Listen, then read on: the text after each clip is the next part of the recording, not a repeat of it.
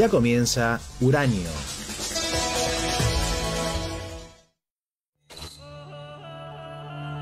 Las leyendas cuentan que existe un mundo debajo de este, en el que los dragones se encuentran durmiendo. Ellas suelen decir que tengas cuidado en cómo despertás al dragón.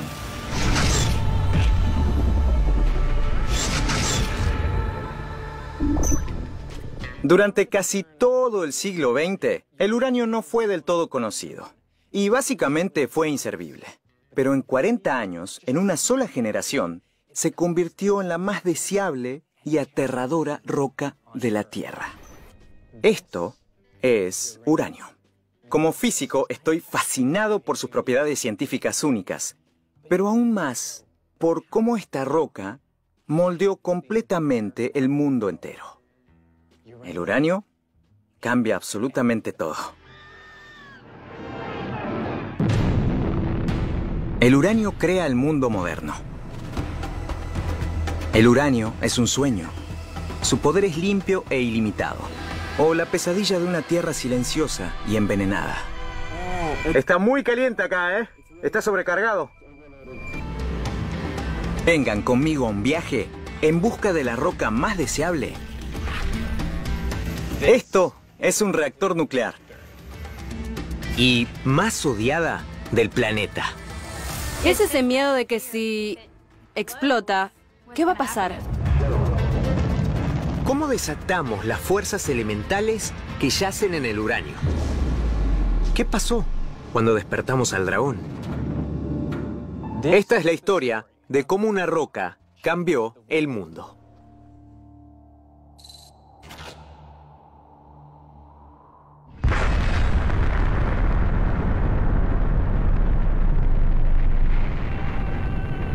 En 1945, los aliados están en guerra con Japón. Los americanos dejaron caer una bomba de uranio sobre la ciudad de Hiroshima. Explotó como el ardiente aliento de un dragón.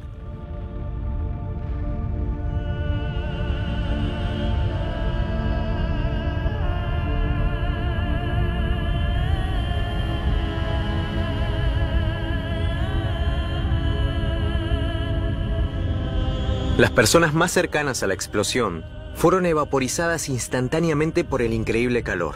Sus sombras quedaron talladas en el pavimento.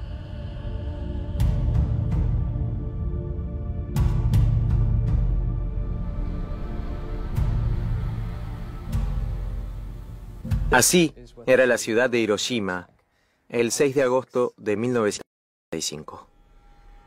Es un pueblo que fue devastado por el uranio. Luego de la detonación de la bomba nuclear en la ciudad, se había creado una bola de fuego de 300 metros de diámetro. Pueden verla representada por esa esfera roja. Aquellos que no murieron por la explosión ni el fuego, morirían en las semanas siguientes por la radiación.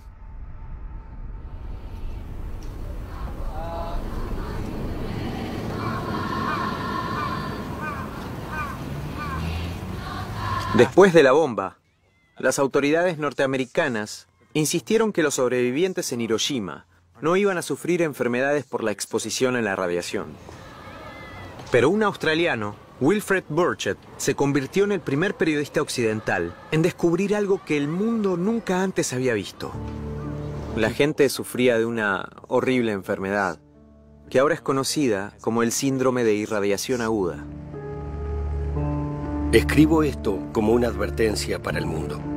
En Hiroshima, las personas siguen muriendo misteriosamente de una enfermedad horrible y desconocida que solo puedo describir como la plaga atómica. Me dijeron que todos estos fenómenos eran a causa de la radioactividad que expulsó la explosión de la bomba atómica del átomo de uranio.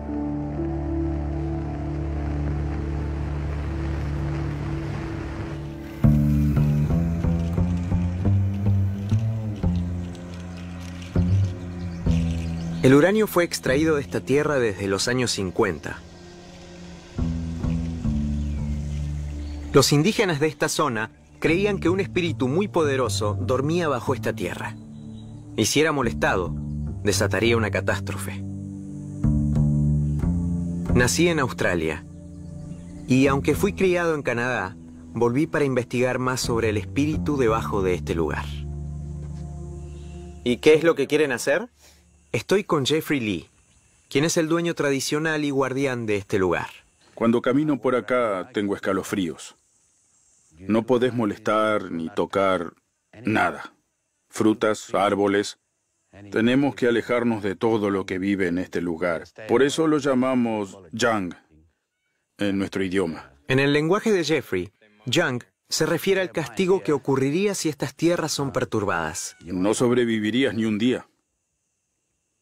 Así es el Yang. Te sigue a todas partes. Te lo digo, no le hagan nada a este lugar. Y por eso mi gente y yo le tenemos miedo.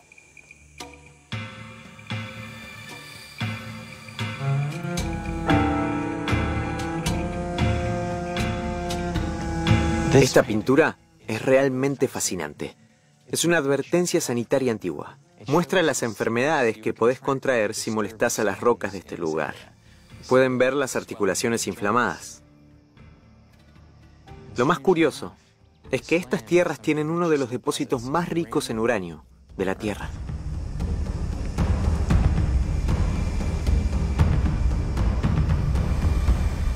Hay pocos lugares en el mundo en donde vas a encontrar rocas con tanta concentración de uranio. Lo que lo hace tan extraordinario fue descubierto por científicos a principios del siglo XX, y es que emana rayos y una energía muy extraña. Miren esto, y van a escucharlo con mi contador Geiger. Y no solamente eso, también hay tres tipos distintos de rayos que salen de esta roca y cada uno puede penetrar distancias diferentes. Lo voy a explicar. Un tipo puede viajar esta distancia, hasta acá. Es mucho espacio. Hay otro tipo que solo puede llegar hasta acá, por el aire. ¿Escuchan la diferencia? El último tipo viaja muy poca distancia. Sin saber lo que eran, los científicos lo llamaron radiación A, B y C a estos rayos pero usaron el alfabeto griego. Era radiación alfa, beta y gamma en griego. Esa es la radiación nuclear. Pero, ¿qué es lo que puede hacer esta radiación a nuestro cuerpo?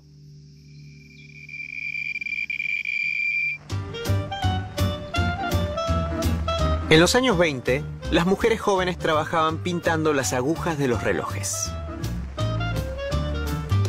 Usaban una pintura radioactiva hecha de radio, y esta hacía que los números brillaran en la oscuridad. Y el radio es un derivado del mineral del uranio. Algunas de esas mujeres se enfermaron y presentaron síntomas enigmáticos para sus doctores y dentistas. Dolores muy fuertes, pérdidas dentales, tumores espantosos en sus quijadas. Y nadie sabía por qué.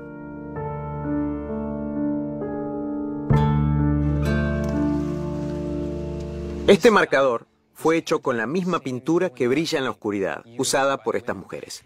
Y esa pintura contiene radio. Muy profundo, en el centro del átomo del radio, su núcleo suelta partes de él mismo. De hecho, dos protones y dos neutrones, para ser preciso. Y eso es lo que conocemos como radiación alfa. Son como pequeñas balas subatómicas. Pero recordarán que la radiación alfa no puede ir tan lejos. Y es más, puedo bloquearla usando este trozo de papel. Escuchen. La radiación alfa es bloqueada por completo por este papel. Así que es incapaz de atravesar el papel y tampoco puede atravesar la piel. Entonces, ¿por qué esta pintura enfermaría a las mujeres?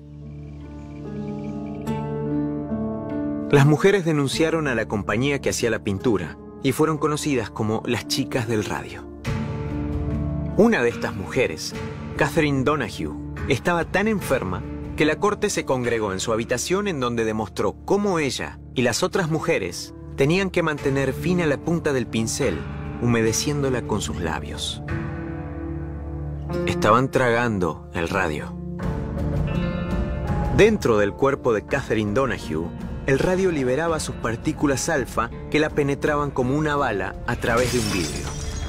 Estas células dañadas podían reproducirse anormalmente y estaban fuera de control. Y ese es el cáncer.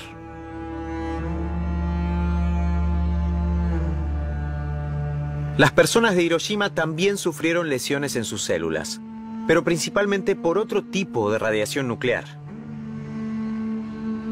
Cuando la bomba cayó, miles de núcleos de uranio se separaron a la mitad. Eso hizo que se libere una gran cantidad de energía. Mucha de esa energía la pueden ver en el calor, la luz y en la onda. Pero existe otra forma de energía que no podemos ver. Es una radiación que es como la luz, pero es tan intensa que es invisible a nuestros ojos. Eso es la radiación gamma la misma radiación gamma que escuchan saliendo de esta roca. Excepto que la diferencia con la bomba era que la cantidad de radiación gamma era inmensa, porque venía de un evento que no es en absoluto natural, una reacción nuclear en cadena sin control.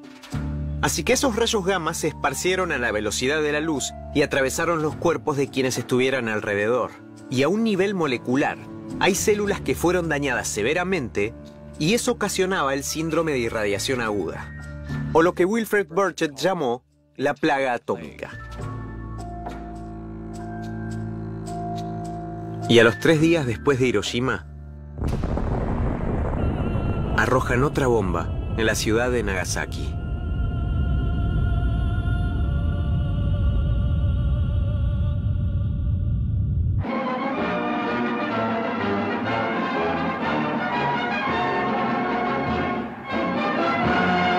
De sangre y lágrimas terminan en una gran victoria. Australia se une a sus aliados en un estallido de felicidad que ahora... Ver estas imágenes es ver la paradoja del uranio. Las dos bombas atómicas mataron al menos unas 100.000 personas, pero una guerra que mató a decenas de millones había terminado. Estas personas no lo sabían, pero se estaban despidiendo del viejo mundo. En el futuro, todo sería diferente. El uranio había cambiado todo. La mayoría de las personas en el mundo escuchó la palabra uranio por primera vez en agosto de 1945. Así que se puede decir que el uranio tiene una imagen de conflicto, asociada a la destrucción masiva desde los inicios de su eh, comprensión popular en todo el mundo. Una gran cantidad de conocimiento científico, talento científico, eh, recursos financieros, eh, ya sabes, grandes estructuras físicas que se construyeron alrededor de la bomba. Así que, para poder apoyar a ese imperio del uranio, eh, tuvo que haber alguna manera de vendérselo al público. La era atómica ha nacido. Aquí está la respuesta de un sueño que es tan antiguo como el hombre. Un gigante de poder ilimitado al servicio del hombre. ¿Y en dónde encontró a este gigante la ciencia? En el átomo. Una partícula tan infinitamente pequeña que se necesitarían miles de billones de átomos para crear la cabeza de un clavo. En la sabiduría del hombre, en su aplomo por el uso de ese poder, depende el futuro de nuestros hijos y de los hijos de sus hijos. En el nuevo mundo de la era atómica.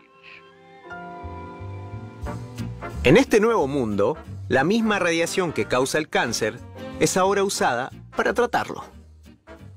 Con una ráfaga sutil y efectiva de radiación, esta herramienta nuclear bombardea las profundidades del tumor con una corriente de rayos invisibles. El tumor se reduce y las células cancerígenas son destruidas. Un gran paso en el tratamiento de la cura del cáncer. ¿Cómo es posible que algo que pueda causar el cáncer pueda ser usado para tratar el cáncer? Y estoy acá para saberlo.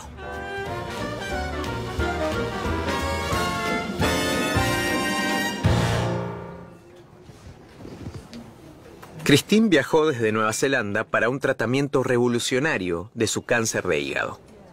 Tengo 27 tumores y los llamo cariñosamente jodedores. Están en mi hígado y se esparcieron hasta los lóbulos y los médicos no pueden operarlos. Esta es la única opción que hasta ahora he considerado. Christine está recibiendo una inyección de una hormona que tiene un átomo radioactivo, el lutecio, dentro de él. Y esta hormona es absorbida activamente por su tumor. Esta es una imagen de los tumores de Christine. Lo que ella llama jodedores están resaltados en rojo. Y acá es donde el lutecio hace su trabajo.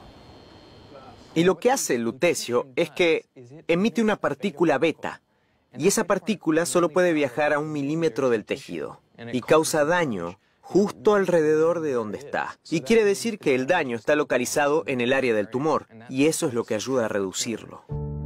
Dentro de Catherine Donahue y de las chicas del radio, una cantidad descontrolada de partículas de radiación penetraron sus células y les causaron cáncer. Pero en la terapia que Christine está recibiendo, esas partículas de radiación, esas balas subatómicas, están dirigidas directamente hacia las células cancerígenas para destruirlas. Estoy detrás de este escudo de plomo porque Christine es un poco radioactiva ahora. En este lado del escudo recibo unos 3 microsieverts por hora. Creo que es la finalidad del escudo, porque de este lado la alarma suena y podemos ver que sube de inmediato a más de 180 microsieverts por hora. Es una de las mayores lecturas que vi. Si te lo doy, seguro va a aumentar. ¿De cuánto es la lectura? ¡Wow! Está por encima de mil microsieverts por hora. Seguro empezaré a brillar. ¿Cómo se siente ser tan radioactiva?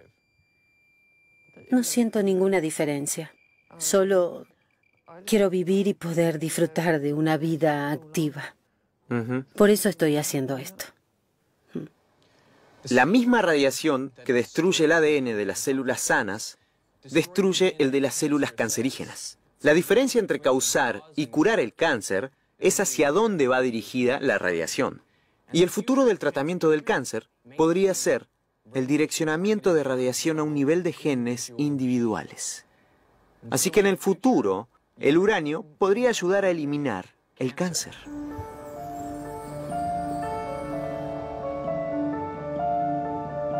De las cenizas de una ciudad destruida, surge un poder para salvar miles de vidas. ¿Podría este mismo poder llevarnos a un nuevo mundo de la era atómica?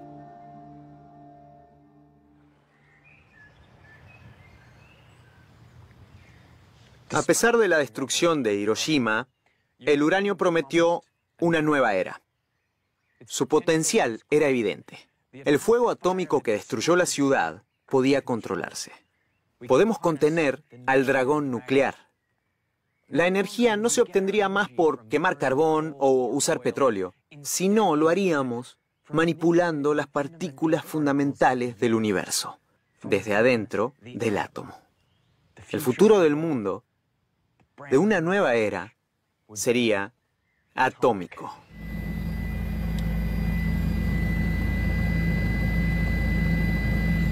Esta es una planta de energía nuclear. Es una forma muy sofisticada de hervir agua.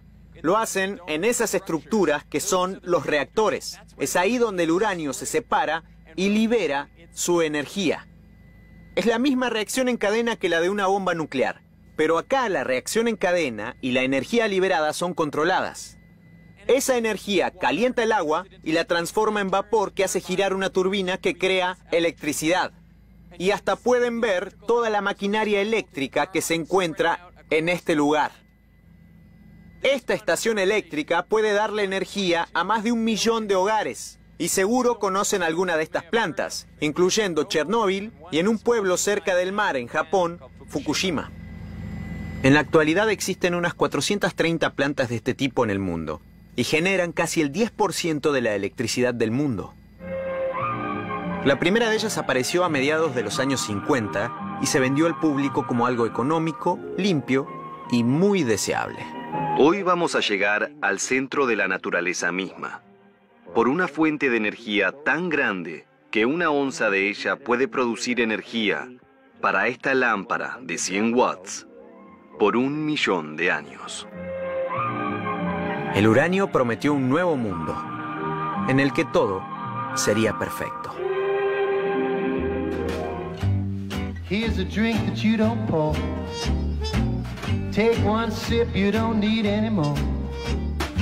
El diseñador de trajes de baño, Louis Riard, creó el traje de baño más pequeño jamás creado, pero no sabía cómo llamarlo.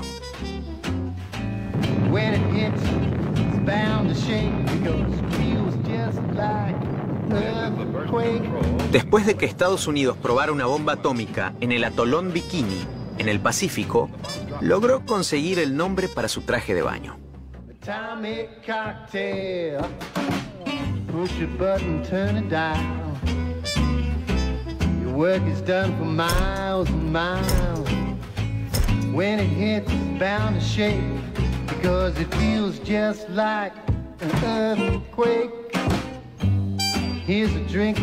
El uranio nos llevaría al futuro. El uranio vale más que el oro. Y todos quieren un poco. Se aproximan tiempos de éxito nuevamente para la ciudad central Colorado. Hay uranio en sus colinas. Es indispensable que el explorador tenga un contador Geiger porque aquí yace el material bruto de la energía atómica.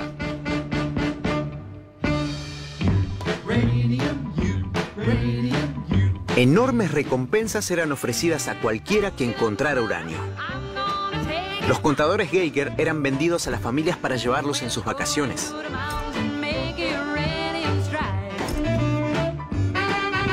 La búsqueda del uranio se vuelve una obsesión internacional.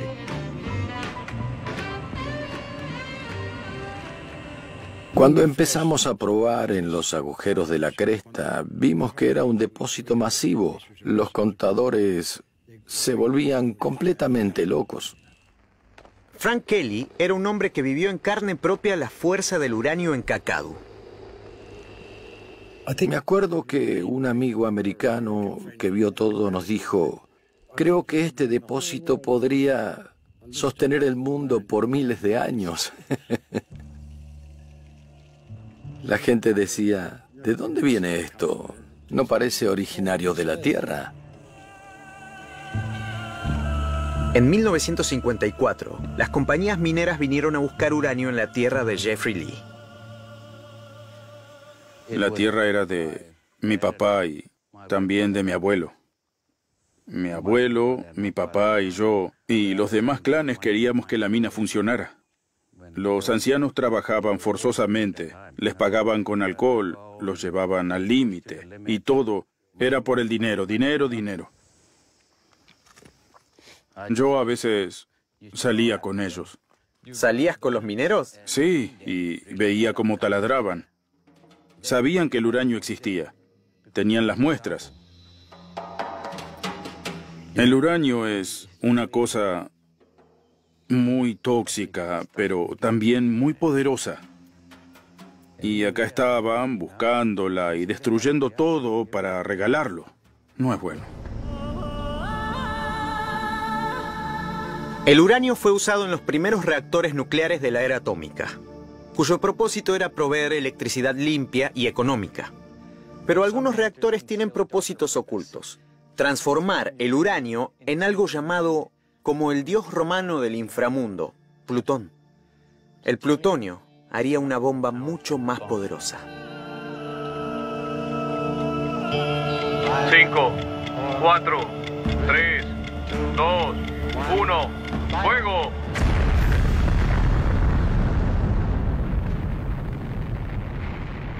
Después de la guerra, Estados Unidos es el único país que posee el secreto de la bomba atómica. Es un club exclusivo de solo un miembro. Pero eso está por cambiar.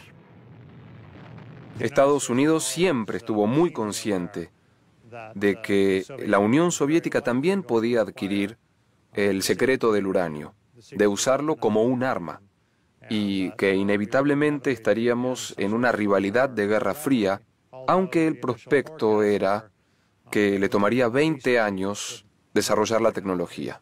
Le tomó cuatro solamente.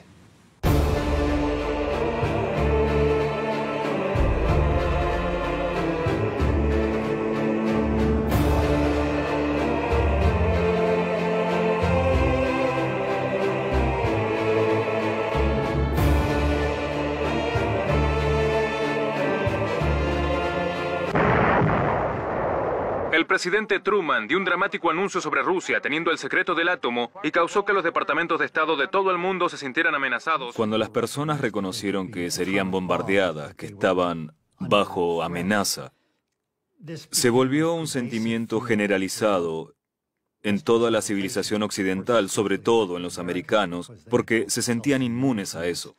La idea de que existían estas bombas atómicas que serían usadas se volvió un pensamiento opresor. El uranio ahora trae otra enfermedad, una obsesión con fabricar bombas más grandes y más poderosas. En el sitio de prueba de la Comisión de Energía Atómica de Nevada, realizamos una prueba para analizar los efectos de una explosión atómica en las cosas que usamos diariamente. Los diseños de interiores fueron donados por la industria y son muy detallados. Naturalmente estaba muy interesada en las preparaciones para las pruebas con los textiles y las telas sintéticas. Como madre y esposa me interesaba. ¿La comida dentro de una casa se podría comer luego de una explosión? Ocho, siete, seis, cinco, cuatro, tres, dos, uno, cero. People got worried over the land, just like the people in Japan. God told Elijah he'd send down fire, send down fire from the sky. Sure don't know about the rainbow sign. Don't be water, but fire next time. You know now. Everybody worried about that atom worried about the day my Lord shall come. He said, Set your house in order, maybe coming soon, and it'll hit, hit like an atom bomb when it comes, when it comes. El grupo de las armas nucleares tenía dos miembros, Estados Unidos y la Unión Soviética.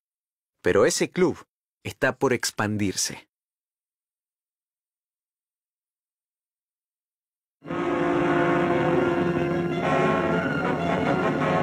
En las planicies Nulabor queda el solitario y remoto pueblo de Maralinga. Es el lugar de experimentación con el descubrimiento más revolucionario, la bomba atómica.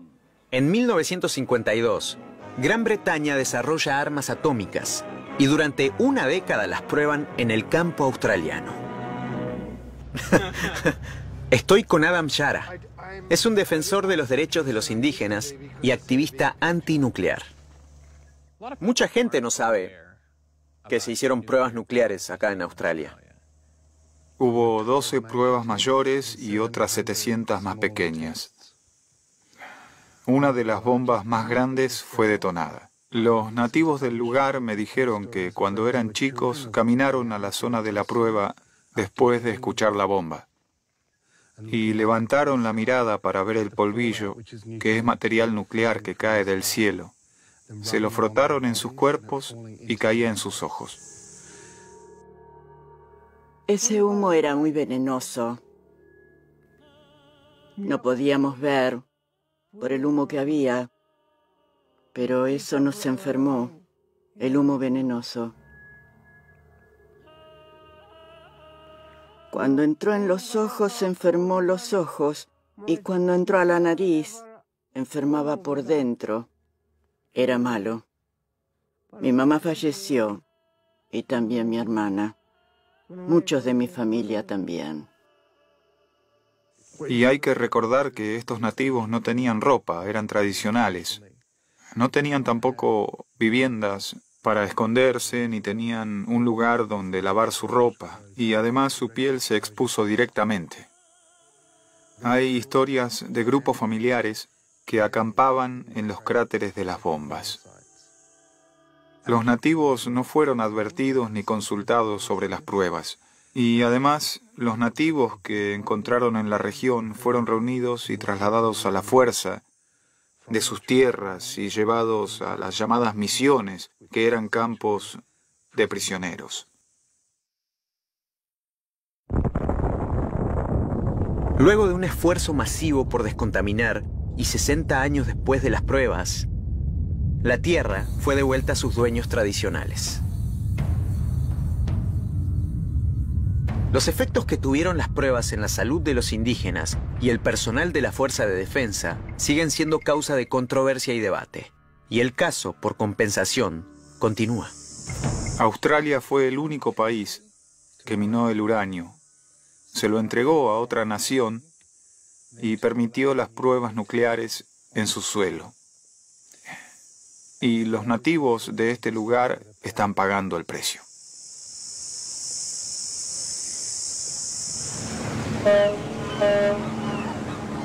Los indígenas de Australia estuvieron entre las muertes que causaron un nuevo tipo de conflicto global.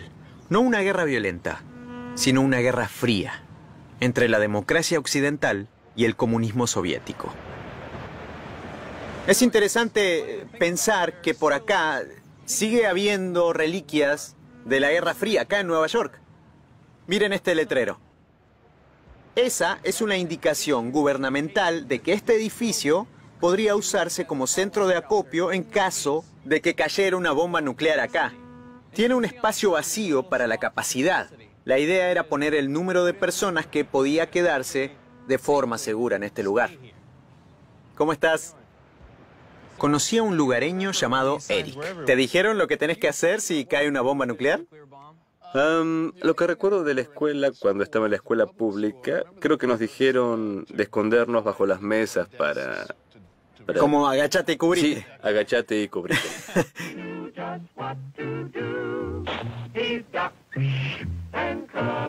Agachate y cubrite. Muy bien, Tony. Hay que actuar rápido. La gente que no estaba en guerra fue instruida para el caso de una. Una guerra en sus ciudades, sus calles, sus escuelas, vaporizándose bajo el fuego del dragón. ¿Vos crees que esa estrategia podría funcionar, la de las mesas? Ah, lo dudo. No para una bomba nuclear. ¿Y cómo fue vivir con ese tipo de miedo? Bueno, cuando era chico no lo pensaba demasiado. Mis padres seguramente estaban más preocupados con esa idea de lo que yo estaba. Para mí, se siente surreal ver letreros así. Porque yo no tengo recuerdos de épocas donde las personas temían una aniquilación nuclear. El uranio forzó a las personas a confrontar un poder elemental del universo, pero también los obligó a confrontar algo elemental dentro de ellos, el miedo. El uranio se transformó en su propio género de película, el monstruo de la era atómica. No entiendo por qué nadie informó esto hasta 1946. ¿Qué fue lo que ocurrió para empezar esto? Bueno, en 1946 empezaron los experimentos submarinos Bikini. Ahí está. Está atacando el edificio de las Naciones Unidas. La costa oeste sufre bajo el holocausto, mientras los hombres y las armas de la época atómica luchan hasta la muerte. Estas películas son ficción de Hollywood, pero la realidad da mucho más miedo.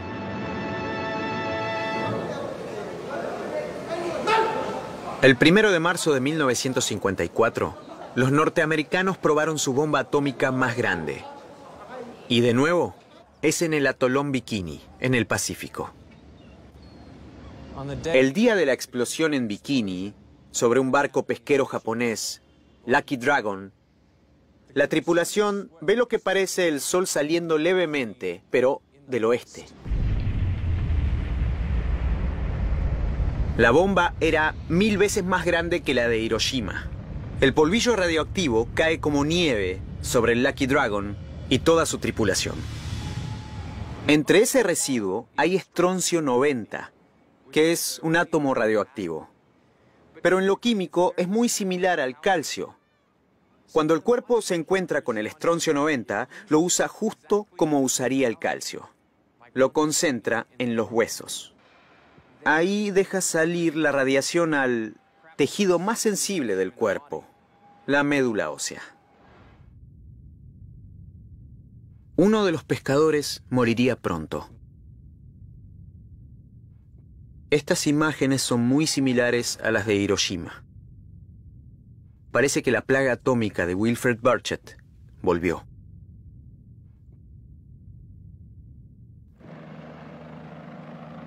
La gente de las Islas Marshall también son afectadas por el residuo. Muchos se enfermarán y algunos morirán. Los locales y no podrán regresar a su hogar.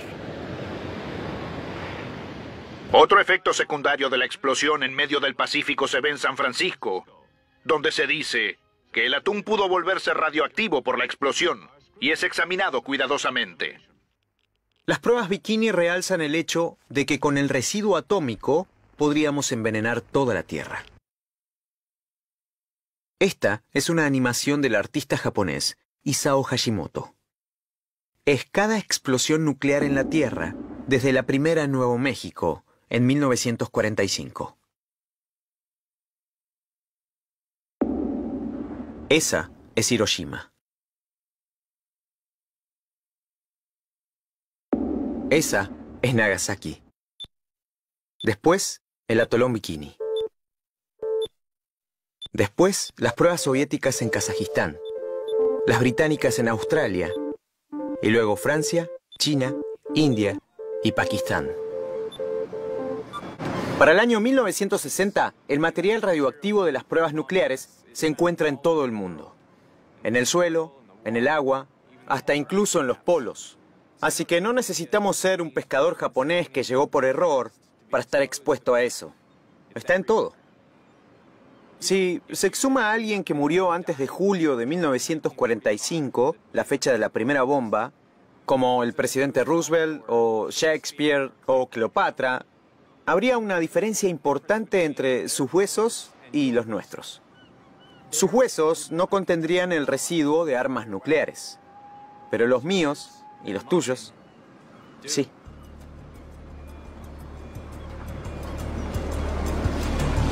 El destino de todas las personas de la Tierra está atado a quienes controlan esas bombas.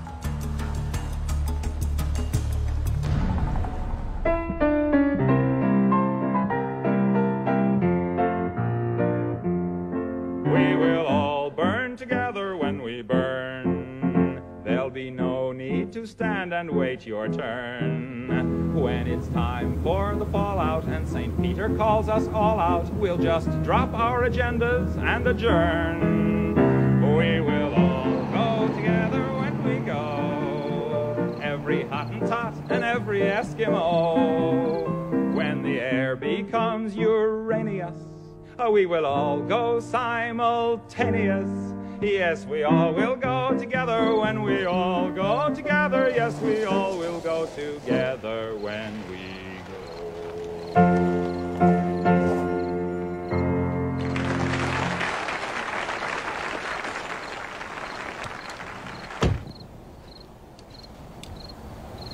Acá, en el subsuelo que está bajo mis pies, está lo más cercano a un tipo de infierno, un lugar donde inicia el fin del mundo. Hola, Derek. ¿Cómo estás? Bien, bienvenido a One Seven. Me gusta tu transporte. Sí, te voy a abrir la puerta para que puedas subir y mires un poco, ¿sí? Muchas gracias. No tenés por qué. Esta instalación estuvo operativa desde 1963 a 1982. Fue construida para guardar un arma terrorífica de la Guerra Fría, dentro de un depósito, bajo tierra. ¿Y cuánto baja? El depósito queda a unos 45 metros de profundidad.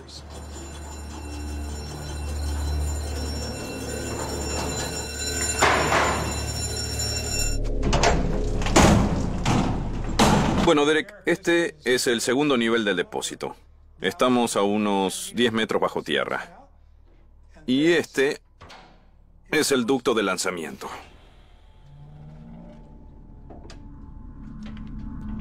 Wow. Este es Titan 2, el más grande y poderoso sistema de misiles hecho por los Estados Unidos. ¿Y qué tipo de bomba tiene? Tiene una bomba termonuclear. Es un arma de 9 megatones. ¿Y comparándola con la de Hiroshima? Bueno, serían 650 veces. Es un arma muy poderosa. ¿Y cuál era la idea que tenían? La idea tras Titan 2 era infundir el suficiente miedo en la mente del enemigo para que pensaran dos veces lanzar un ataque contra nosotros, sabiendo que 10 metros bajo el desierto, en un depósito de concreto, podemos soportar el primer ataque y contraatacar. Si lo hacemos, las consecuencias para ellos serían tan horribles que hubieran preferido no empezar una lucha en primer lugar. Esa es la esencia de la disuasión. Este misil ya no está activo, pero el sistema de lanzamiento se preserva. Y quería ver cómo se sentía controlar semejante poder. ¿Podemos lanzar uno? Estaba esperando que lo dijeras. Existían 54 depósitos como este, con personal que trabajaba 24 horas al día, 7 días a la semana, listos para lanzar sus misiles bajo orden exclusiva del presidente de Estados Unidos. Muy bien, llegamos. Siéntese, comandante. Gracias. Este es el centro de control. Acá estaban los trabajadores para lanzarlos. ¿Y cómo sabemos si es necesario?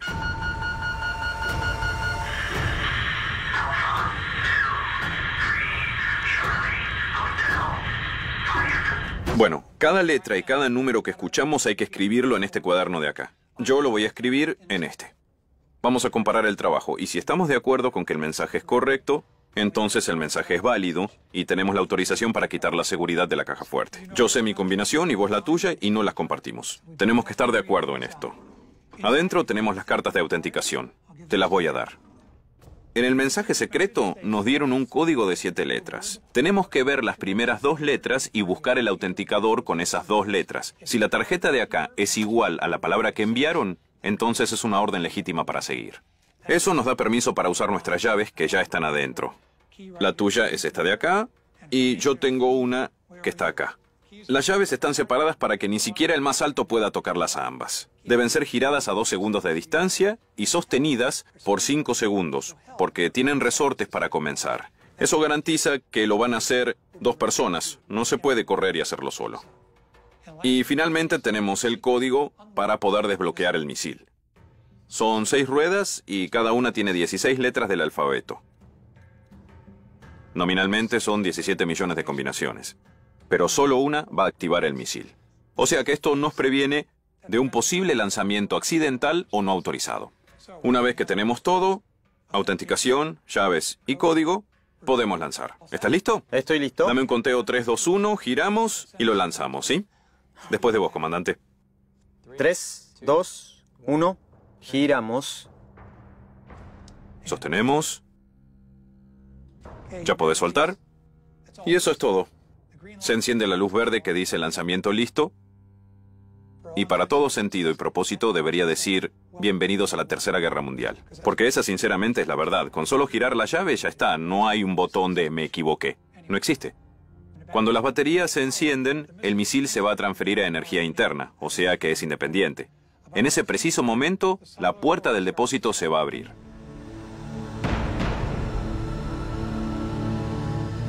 Va a pasar por un radar de seguridad y va a encender la alarma. Eso nos indica depósito abierto. Dirección activada significa que la computadora interna tiene el control total de la misión. Y en unos segundos vamos a ver encendido del motor principal. Ahí se va a acumular propulsión, se van a sacar los tornillos de sujeción y con eso ya está, rumbo al azul infinito.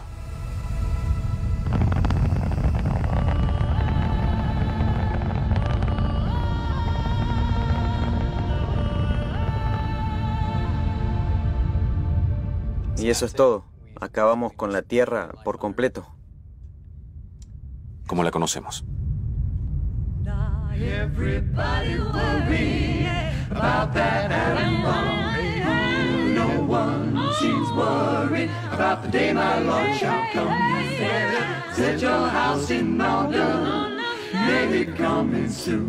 Hey, hey, hey, you know?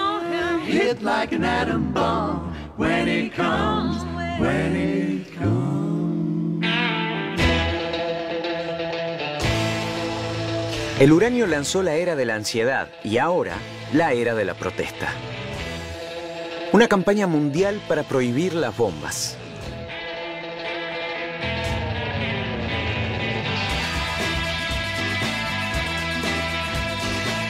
El mayor símbolo de las protestas es diseñado en 1958 por el artista británico Gerald Holton. Su idea son las letras N y D en señales de banderas. Esta es la letra N de nuclear.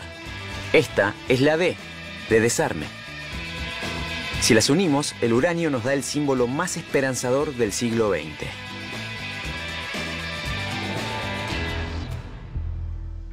Pero el mundo seguía construyendo más y más armas nucleares.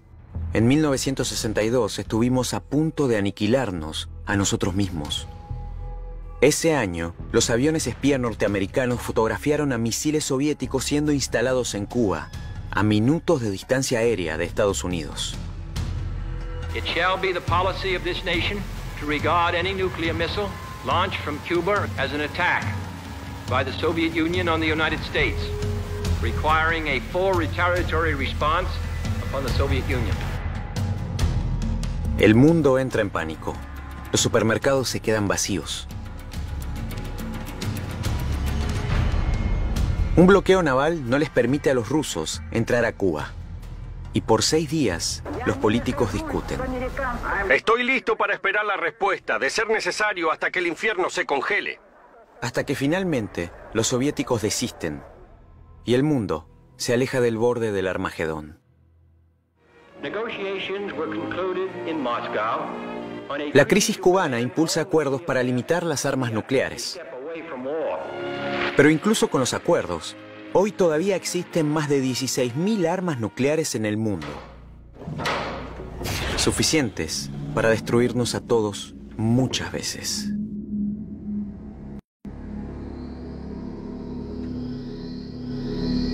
Es fácil tenerle miedo a estos terribles misiles de la era atómica, pero no nos olvidemos que por esta tecnología se pudo llegar al nuevo mundo, al espacio.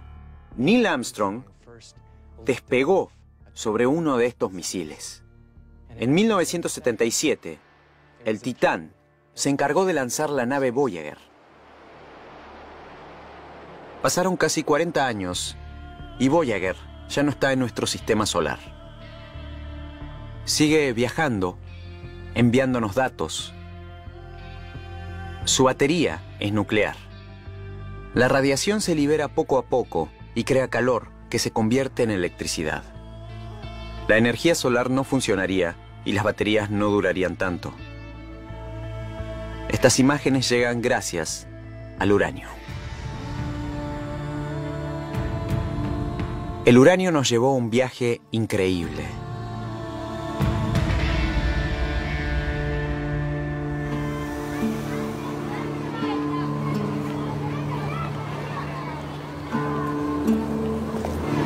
El uranio anunció el fin de la era atómica, más precisamente a las 8.15 de la mañana del 6 de agosto de 1945, cuando se dejó caer el fuego del dragón en esta ciudad.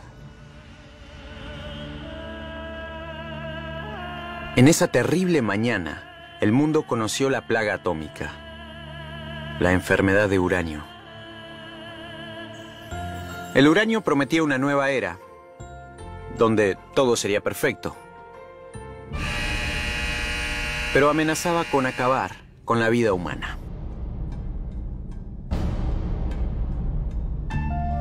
El uranio salva la vida de millones, pero le enseñó a los niños un nuevo tipo de miedo, trayendo consigo una era de ansiedad. El uranio prometió darle energía a millones de hogares. El uranio cambió nuestro mundo para siempre.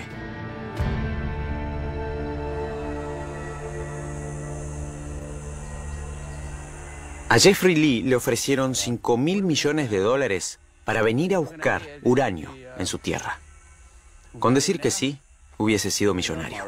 Eso de allá es Kungara. Pero él dijo, no. El dinero no significa nada. El dinero va y viene. Podés tener dinero, pero no me tenés a mí. Hay toneladas de uranio acá. Pero yo no quiero que nadie lo saque. No quiero que hagan nada, porque si hacen algo, la Tierra se va a vengar, va a venir por ellos. Y va a terminar en desastre. Se dice que debajo de esta tierra hay un gran poder que no puede ser molestado. En la era del uranio, aprendimos a vivir con miedo del dragón. Pero el 26 de abril de 1986, muy lejos de acá, en el reactor nuclear de Chernóbil, ocurre un accidente catastrófico. Hubo un accidente nuclear en la Unión Soviética. Los soviéticos lo han admitido. Y de repente, parece que el mito se transforma en realidad. Perdimos el control del dragón.